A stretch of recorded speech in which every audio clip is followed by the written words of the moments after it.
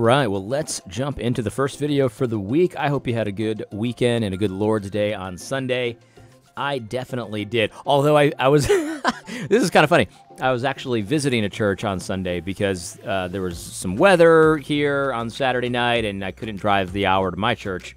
So I visited a local church and just so happened that this Baptist uh, church was teaching about why Presbyterians are wrong about baptism. So I sat through a sermon um, about why we were wrong, although I left even more a Presbyterian than I was before. The points, in my opinion, were meh. But in any case, um, I wanted to make a quick announcement. So a couple weeks ago, I told you that I was thinking. I've been thinking about leaving YouTube for a little bit, and uh, I solicited some ad- advice and opinions on where I should go and things like that. And um, I had pretty much decided that I was going to try out another site and then you know kind of see what happens with YouTube and things like that. Well, since then, I had a video that was censored, pulled completely. And it was the video that I did about the fake insurrection and my thoughts on the fake insurrection. And YouTube thought that was too dangerous, too, too much misinformation in that video. And you can trust YouTube because they know what's true. Anyway, so they took it down. I appealed it. And in my appeal, I said, You're a bunch of racists because I thought maybe that would work. But it didn't. They rejected my appeal and all of that. And so I have decided what I'm going to do. And so, what I'm going to do, I opened up a Rumble account and an Odysee account, and I'm going to start posting to those more regularly. And my intention is to taper uh, my YouTube usage um, throughout the year, and then by the end of the year, maybe just abandon it completely. Now, hopefully, this is an actual taper, unlike the one that Jerome Powell, the Federal Reserve Chairman, is pretending that he's going to do with. Uh, with his asset purchases and all that. So I'm going to taper. Hopefully not the Jerome Powell uh, way, but uh, but that's my plan. So you'll start to see me upload to YouTube less and less and less and less, and I'm going to be uh, uploading to Odysee and Rumble more and more and more. And I'm not sure if I'll stick with both of them. Um, we'll maybe I'll probably pick one most likely, but we'll see what happens uh, with that. That's the plan right now. Um, but so for the time being, I'm staying on YouTube, but I'm going to start to taper um, my uh, my YouTube use. In any case, also I saw something that's that that I guess that um, they're limiting the viewership of new channels. Like if you if they if they say they don't know you well enough, like they don't trust you. Um, you're not allowed to, to, to watch videos from people like that. I, allegedly, I saw some people that were covering this trucker thingamajig, uh, and they got uh, kicked off. Not because they were breaking any rules, but because YouTube was just like, yeah, we don't know you. So uh, I guess YouTube is uh, YouTube is getting worse and worse. And so I don't know. I mean, maybe I won't taper. Maybe I'll just get kicked off because I'm obviously not going to change my opinions on things. Right? The insurrection was definitely still fake. You know what I mean? Like just because YouTube wants me to stop talking about it, I'm not going to stop. So I'm going to continue to do what I do, and we will take it from there. I did want to draw attention to this article from the Daily Wire. Megan Basham Megan Basham. If I'm pronouncing that wrong, Megan, I apologize. She has written an excellent article titled How the Federal Government Used Evangelical Leaders to Spread COVID Propaganda to Churches.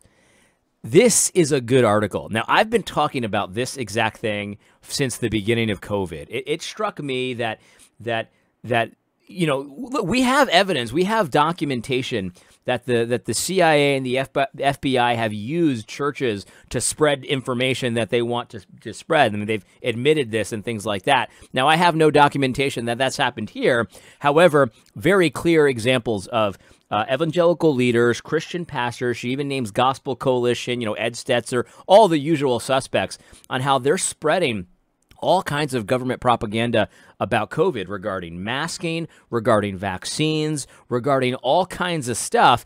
And and and evangelical leaders have like dutiful little servants, just bootlickers, these guys, a lot of them have just spread whatever lies that they wanted that they wanted them to spread. And and these lies are becoming more apparent every day. Like there's more and more research about how masks don't do anything.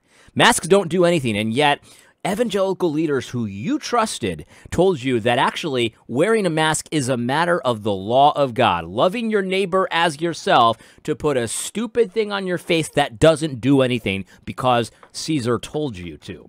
You know, vaccines, you know, it's it's amazing to me. I mean, cuz you know, 2 years ago we understood what a vaccine was for. A vaccine was to prevent uh, infection, was to prevent you spreading the infection, and things like that. And I remember saying at the time, I'm not going to get the vaccine because, you know, I'm not scared of COVID. And number one, and number two, you know, they kind of did a rush job on this vaccine. So I'm really not interested in being the guinea pig and all, all that kind of thing. That's what I said. Uh, but then over time, it became very apparent that these vaccines don't do anything. Like they don't prevent you from getting COVID. They don't prevent you from spreading COVID. I mean, I, have known a lot more people this year that have gotten COVID than I did last year. I mean, the, the first year of COVID, I, I knew barely anybody who ever had it. But I know a lot more people who had it this year. And it's like 70, 80% of the people that I know who've had COVID this year were vaccinated and boosted. It just doesn't stop you from getting the disease. And now they're like, oh, well, well, no, vaccines actually don't stop you from getting the disease. They just stop you from getting it very seriously. Well, that's, I know you're changing the rules and stuff there, all that stuff. Anyway, the bottom line is, this is all because the lot, the propaganda, which I just assumed was not true uh, at the time, and I had evidence for some of the reasons why it wasn't true.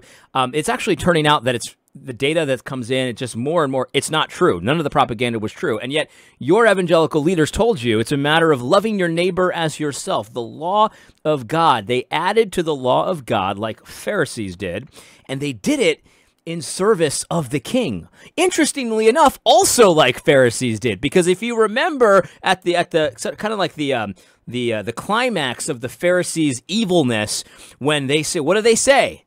We have no king but Caesar.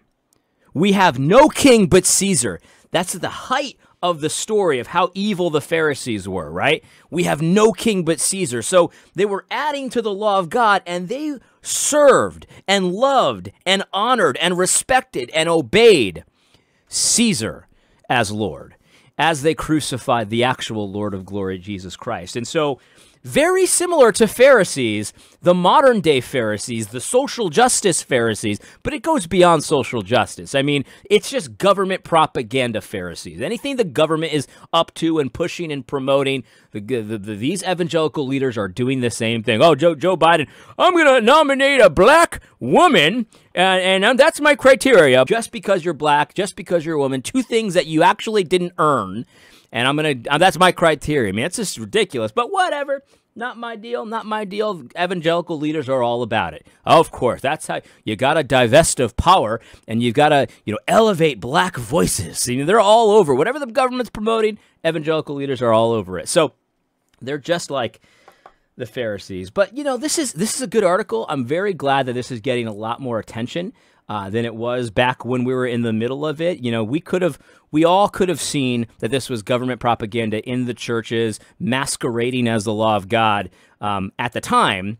But it's okay. If you're late to the party, it's good because you can actually do something about this, right? Because you can't stop Ed Stetzer from bowing to the federal government, right?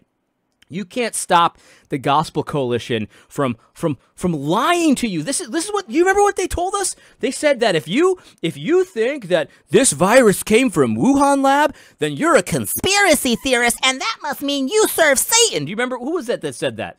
Joe Carter said that. If you if you believe the Wuhan virus thing, you're a you're a satanic uh, conspiracy theorist it's all coming out now, guys. That that's where it came from. It came from the Wuhan lab, just like we all knew, right?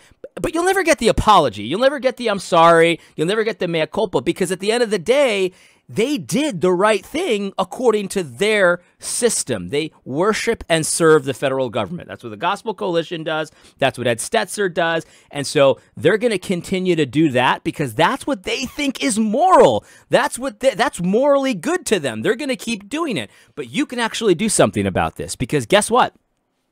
You don't have to listen to them.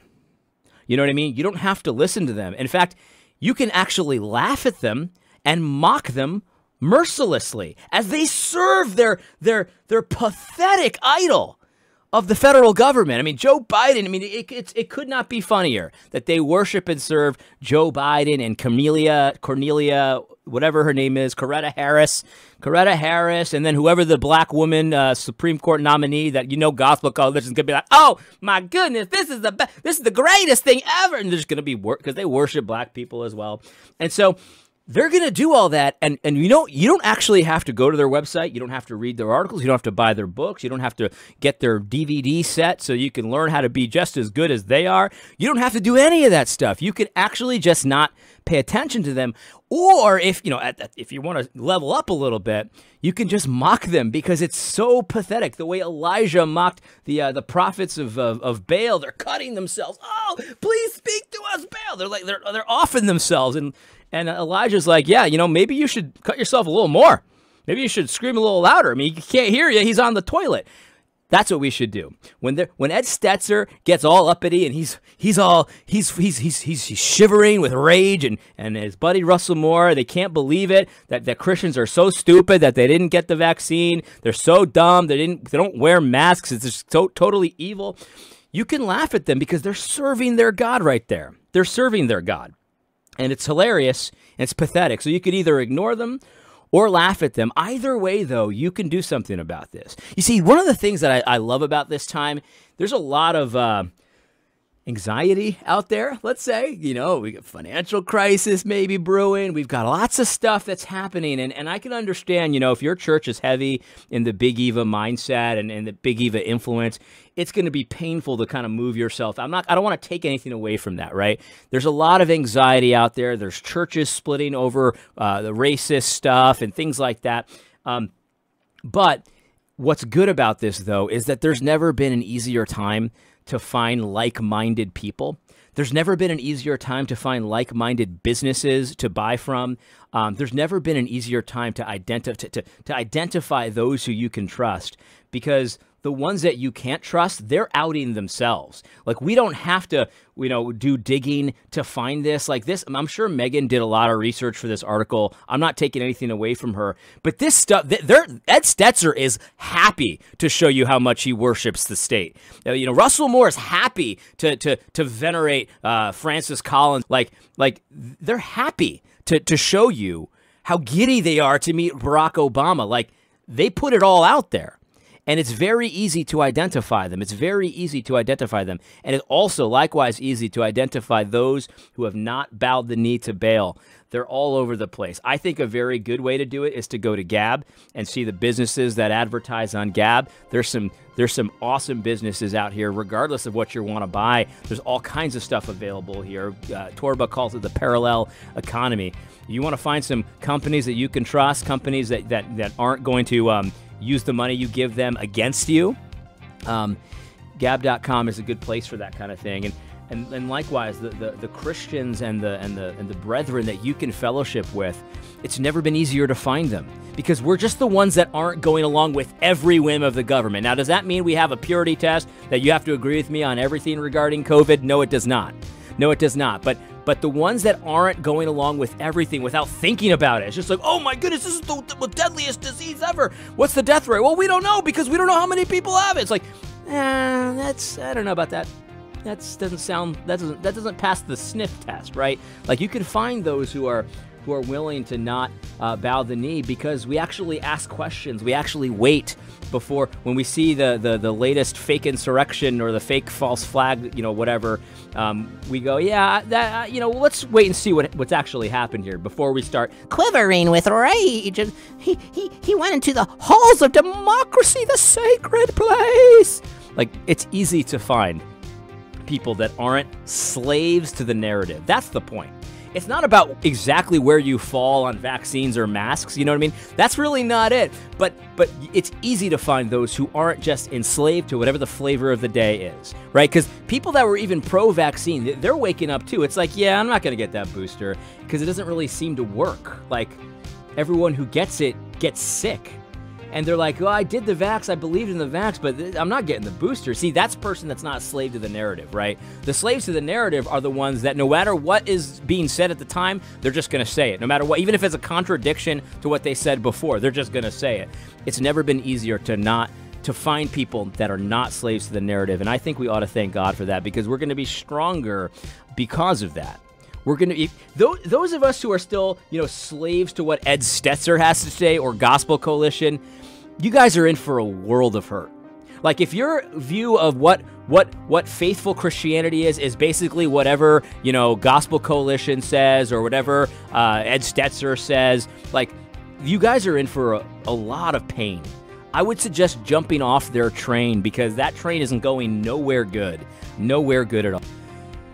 Anyway, so I guess that's really all I have to say. I hope you found this video helpful. God bless.